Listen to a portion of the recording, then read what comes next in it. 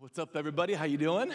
Good to see you guys here today. I invite you to grab the teaching notes that you received as you came in, as we are going to be hanging out in John chapter 17 today. So if you got your Bibles, you can turn to John chapter 17. Have you ever had someone listen in on one of your conversations. Would you raise your hand if you have been there before? Someone was maybe eavesdropping or, or they heard something that you said and you didn't think someone was listening. Or how about this? Have you ever had it where you sent a text message to someone on accident?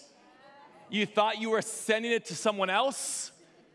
And then when you realize that happened, you were freaking out, going, oh, what did I say? What did I say? I had it just a, a couple years ago where, where someone sent me a text message that was very clearly, clearly meant to go to his wife, but he sent it to me on accident. And so I had this moment of, do I say something? Do I not? Then it's all creepy when he realizes that I he did it and he comes back to me. So I said, "Hey, I don't think this was meant to go to me." And we got a good chuckle out of it. How about this? Would you raise your hand if you have an Amazon Alexa or an Amazon Echo? Would you raise it loud and proud? If you got one of those in your home, I just heard uh, or read or heard of a story a couple years ago where, where the, the, the good sister Alexa was triggered and, and she began to record the conversation of a couple in their home. And then she emailed that conversation to one of the guy's employees.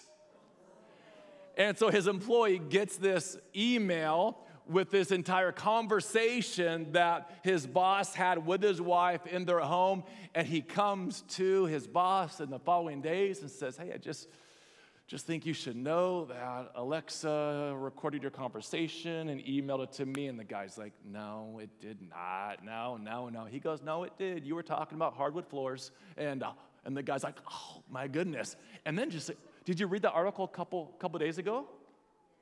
That, that, that Amazon pays thousands of people to listen in on conversations through Amazon Alexa. Isn't that kind of creepy? And they're transcribing stuff. It's kind of weird when you know someone is, is listening in on one of your conversations. And yet, in John chapter 17, we have this huge privilege, this honor of, of listening in or reading this conversation of prayer that Jesus is having with the Father. So, we're going to hang out in John 17 today and look at some different prayers that were taking place there. But just even before we get to that, we've been talking the last number of weeks in the Gospel of John and about the, the I am statements of Jesus, and now we're, we're in a just uh, the few weeks leading up to Easter, obviously today being a Palm Sunday, just celebrate this week how Jesus went to the cross for us. And here in this text today, he is nearing that point, and this prayer that we're looking at today has been called the consecration prayer or the farewell prayer. If you want to write that down in your note sheet, you certainly can. The consecration prayer or the farewell prayer as Jesus is, is having this prayer. And, and, there's a couple things that, that we realize and we can really learn right here, even before we dive in. First of all, do you notice that, that Jesus was always in prayer?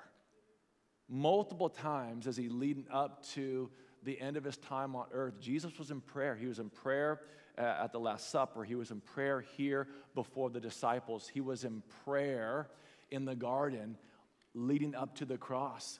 And when we have significant moments in our lives, that difficult work meeting, that difficult conversation, that season of challenge, man, let's not go into those on empty, but let's follow the example of Jesus and be prayed up for those moments. So, whether you're at school going into a test, whether you're at work going into a meeting, man, let's pause, take some time, pray so we don't go into those on empty. And then Jesus reminds us in John 16 33 that, that we have victory. Jesus ultimately is victorious. And he, he's having this conversation with, this, with the disciples and saying, Listen, there's gonna be some grief, and the world is gonna hate you. There's going to be some challenge, but take heart. I have overcome the world. May, let me just encourage you that no matter what you're facing right now, no matter what you're going through, we can approach those circumstances from a place of, of victory because Jesus is victorious. And, and it might not look just the exact way that you think it's going to look, but we can approach all of the difficulty and challenges that we face in life from a perspective of God will get me through this, God will help me, God will deliver me, God will give me the victory. So, who was Jesus praying for in John 17? Number one is this He was praying for Himself. Let's read verses 1 through 5 to start. After Jesus had said this, he, he looked toward heaven and prayed, Father, the hour has come. Glorify your Son, that your Son may glorify you. For you granted him authority over all people that he might give eternal life to all those you have given him. Here, check this out.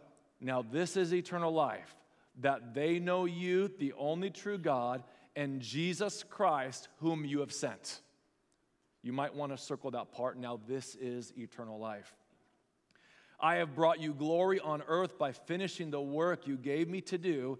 And now, Father, glorify me in your presence with the glory I had with you before the world began. I'm reading that text and it reads, Father, glorify your Son that I may glorify you. And I'm like, whoo, over my head, what is he talking about there? So dive in, do just a bit of research. And what, what Jesus is saying there is that he had glorified the Father through his life and his time on earth. He, he, he had lived a perfect and sinless life. And really, as he moved towards his death on the cross and his resurrection, this, this, this week is really the climax of the incarnation, the incarnation being God in human flesh and the personal work of Jesus Christ. And now Jesus prays that, that the Father would glorify him and strengthen him and sustain him and return to the place that he was before the world began. And then Jesus says, Now this is eternal life. And we find uh, again Jesus saying, Eternal life is found in me, in Jesus and Jesus alone. And we've seen that narrative woven into the Gospel of John the last number of weeks. You might remember Mitch a number of weeks ago in the I Am series talked about how he knows who Gary Payton is, but he doesn't personally know Gary Payton or have a relationship with him. Just last week, talked about how you pull up a map on your phone and there's multiple routes to get to the same destination. That's a great way to get to a burger joint or to avoid traffic, but it's bad theology because Jesus says, I am the way, the truth, and the life. Here again, Jesus says, This is eternal life. It's the one who knows Jesus. So, eternal life is knowing God personally. It's not enough just to know that there is a God or to know about God. In fact, the Greek word for know in this text, if you want to write it down in your note sheet, is ginosko, G I N O S K O. And what it refers to is an experiential relationship. An experiential relationship. Each and every one of us understand that there's a difference between hearing about something and experiencing it firsthand. So we, can hear about the Grand Canyon. We can hear about Niagara Falls. We can hear about what it's like to, to be at a Seahawks playoff game. But hearing about something is very different than experiencing it firsthand. And what Jesus is saying here is, is, we all must experience Him and receive His gift of grace and mercy first hand. Can I ask you this? Have you done that? Man, have you given your life to Jesus? Have you trusted in Him for the forgiveness of your sins? Is Jesus just someone that you have heard about or you know about, but you haven't yet had that personal experience or relationship with Him? What, what, what a beautiful Sunday on Palm Sunday to give your life to Jesus, accept his gift of grace. I encourage you to do that today. And then Jesus says, What? He says, Father, I have finished the work that you gave me to do. Jesus was focused on the mission that God had for him. Even though he knew that he could, he could, he could decline the cross, he was focused, laser focused on accomplishing the mission and the vision that God had for his life. Man, let, let's let that be our heart's prayer. God, would you help me not to get distracted? Help me not to get too busy. Help me not to get consumed with other things that I forget the mission and the purpose you have given me in life. God, I want to get to the end of my life and I want to look back and be able to say, like Jesus, God, I have finished the work that you called me to do. Man, the, the, the talents and the abilities that you have given me, the heart, the, the, the, the vision, the mission that you have given me, man, I was about your work throughout the course of my life. And I believe it's important that we also, as a church, keep that heart. That we say, God, you know what? We're not going to get consumed with ourselves. We're not going to be one, uh, you know, a country club church that's all about just us being exclusive and hanging out together. No, God, we want to be an arrows out church. Man, we want to be a church that's reaching out to this community, communicating the life changing message of Jesus Christ. We are simply an army here that's linking arms, doing work for the Lord. And even here, as we, as we embark on this next week, man, Easter, celebrating the resurrection of Jesus. Man, let's be an army. Thank you to, to all those who've signed up to serve. Man, thank you to all those who are inviting and reaching out to your neighbors and, and coworkers and friends and grabbing invite cards. Let's be an army and believe that, that salvation will take place next Sunday. Amen?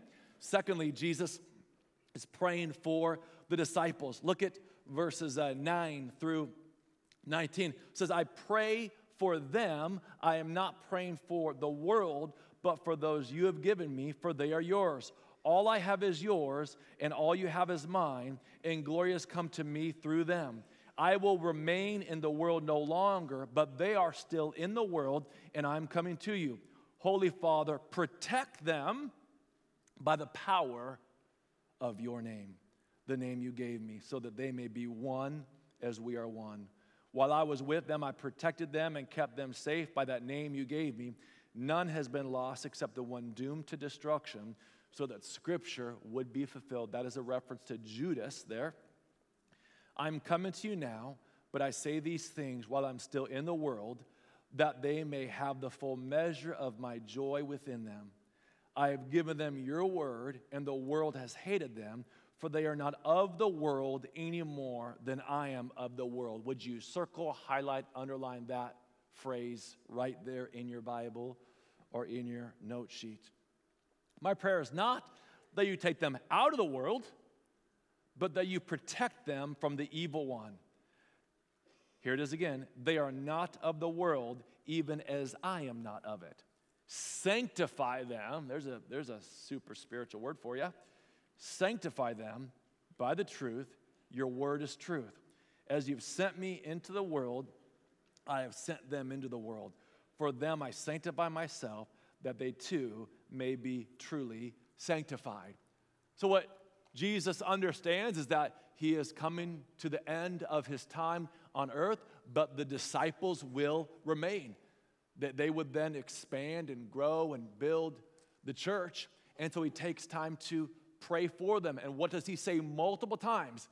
He says, They are not of the world any more than I am of the world. Now just think about that.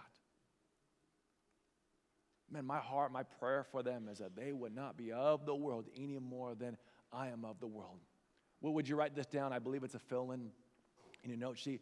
We are to be in the world, but not of the world, to be a witness to the world. We are to be in the world, but not of the world, to be a witness to the world. In, in earlier centuries, some, as, as the world began to corrupt the church, some felt that monasticism was the only way to be separated from the world. And so what you had is the, the, these communes and 10 foot walls, and people would separate themselves so they weren't corrupted or influenced by the world. Some even took it to extremes and became hermits and lived in caves so they weren't corrupted by the world. But that really misses the, the heart of the gospel, what Jesus is saying here. Notice that Jesus doesn't pray that God would send rescue planes to swoop them up. God doesn't pray that, that He would, Jesus doesn't pray that God would give them bubble wrap encasing so they're protected from the world. No, He wants them and us to be salt and light. The challenge for all of us is to be in the world, but not of the world. And there are differences there. Think of it this way How many of you have ever been scuba diving before? Would you raise your hand if you've been scuba diving before? I've never been scuba diving before. I don't really have a desire to scuba dive, to be honest with you. And I don't know what it is. I thought about it this last week. I thought, I must be weird because I don't want to fly in the air, nor do I want to be in the ocean. I just want, want, I want my feet on the ground.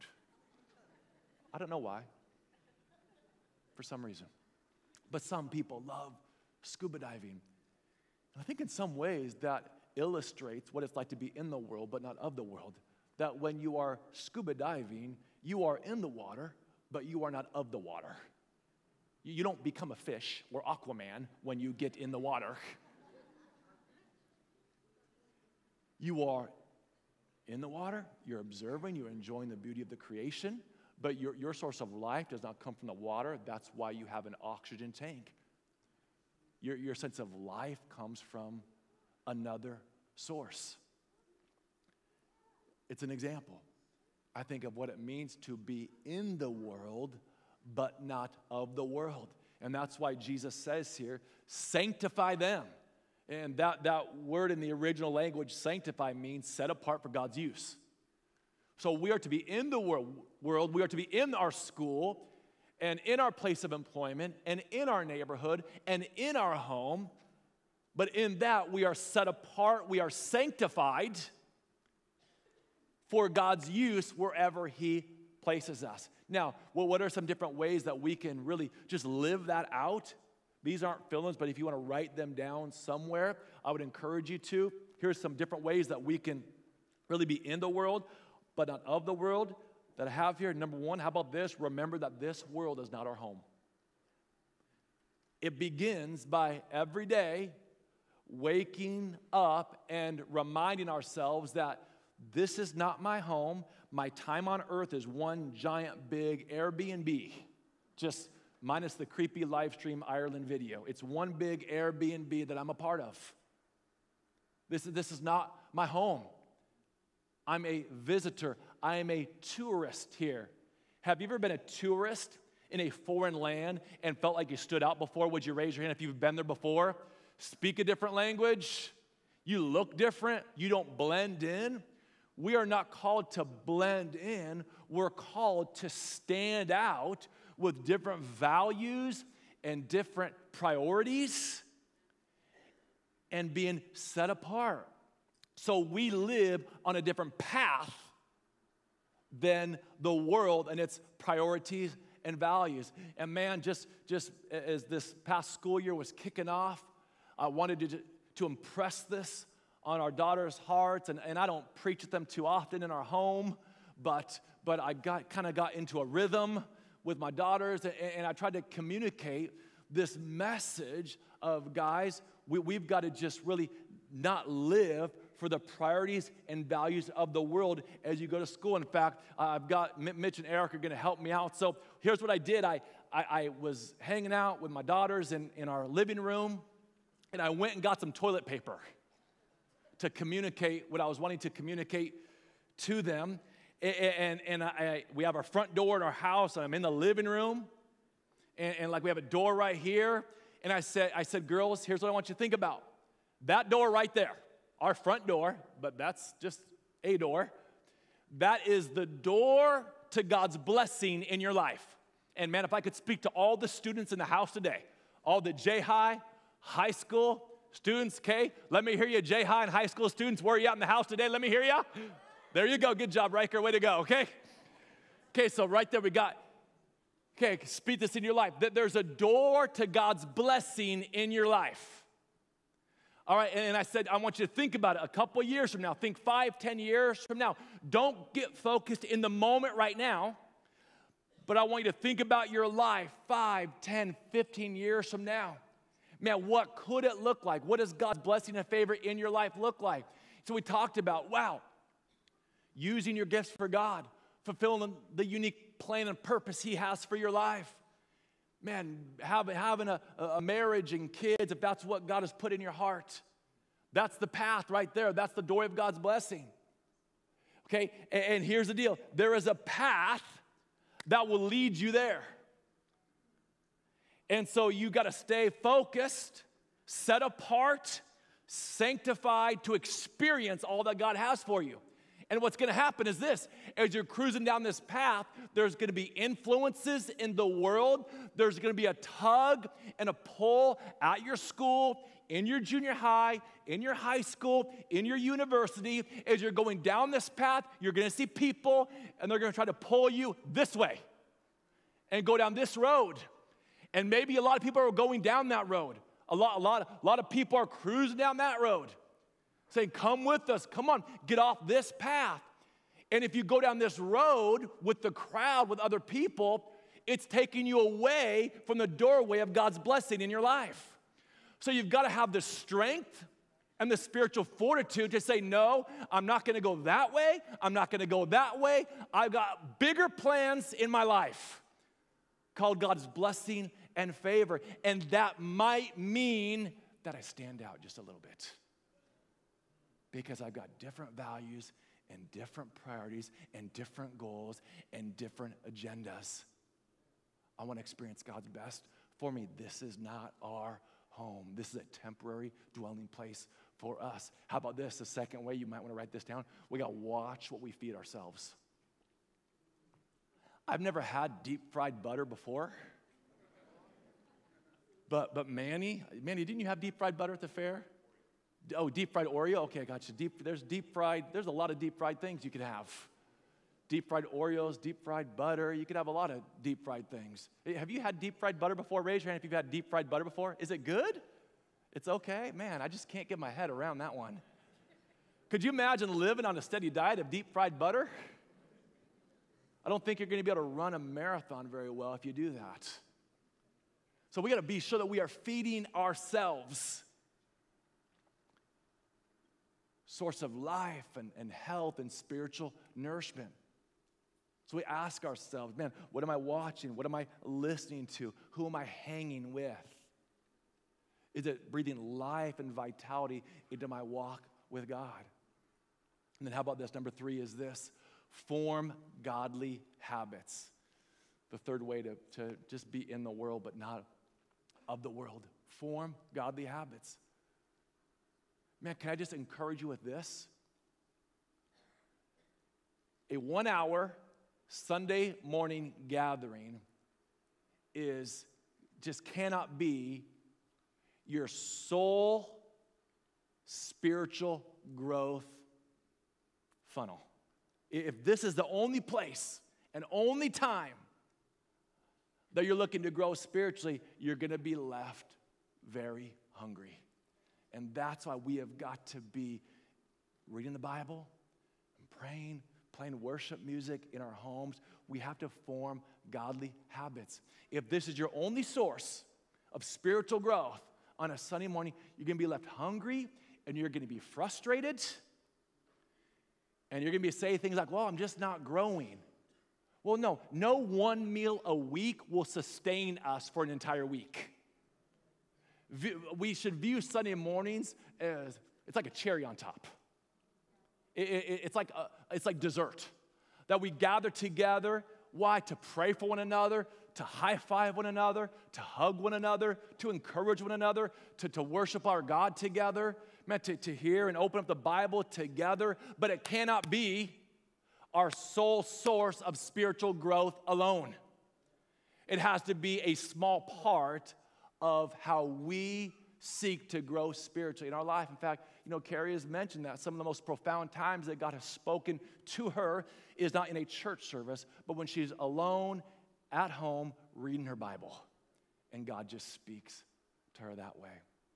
Secondly, the, second, the, uh, the third uh, group that Jesus prays for is Jesus prayed for all believers. Look at verses 20 through 23. He says, My prayer is not for them alone. I pray also for those who will believe in me through their message, that all of them may be one. Father, just as you are in me and I am in you, may they also be in us, so that the world may believe that you sent me.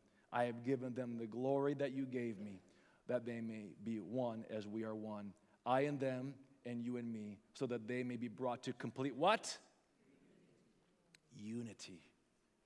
Then the world will know that you sent me and have loved them even as you have loved me. I was talking just last Sunday night.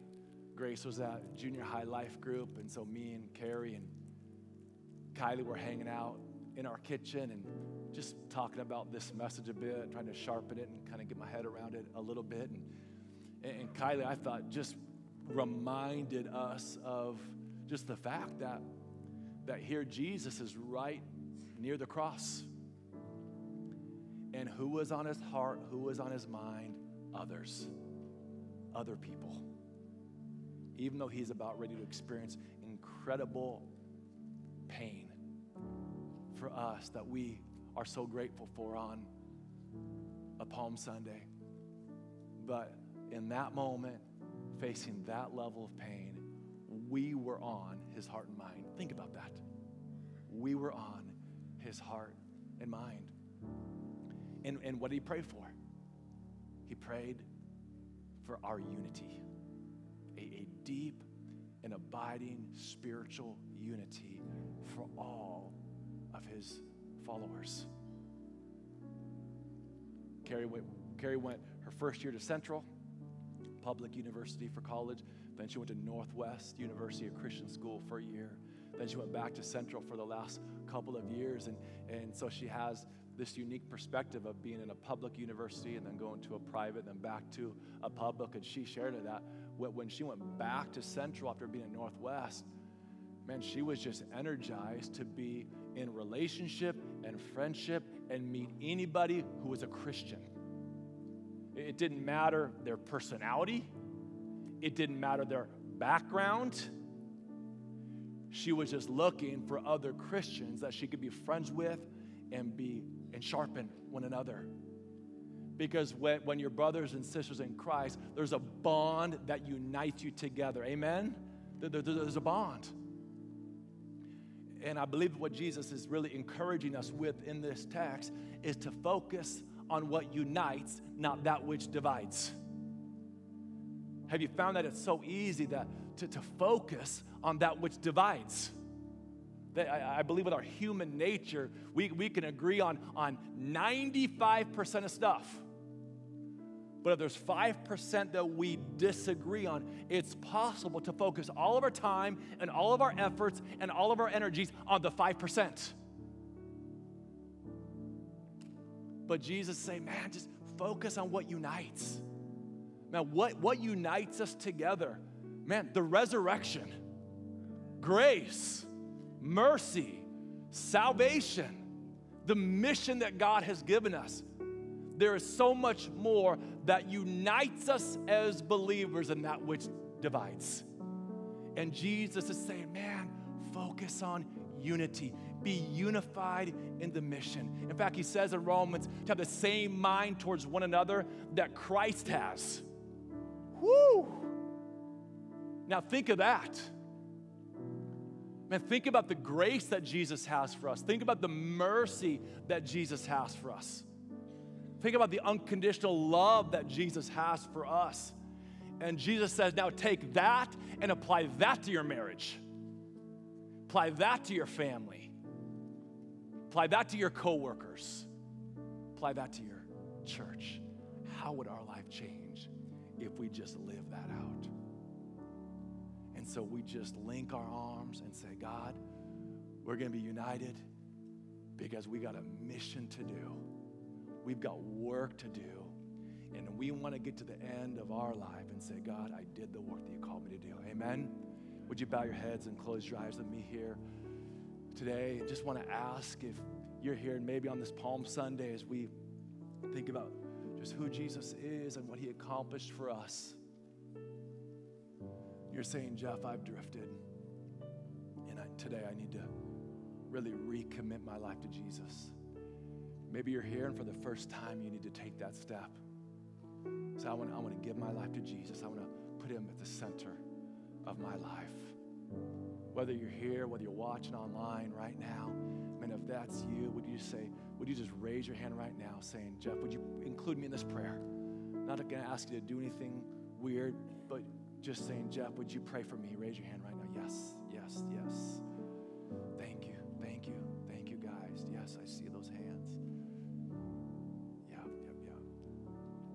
Lord, we thank you for those who are taking that step. Lord, we celebrate your resurrection. We celebrate your death on the cross and what that means for us. You give us life.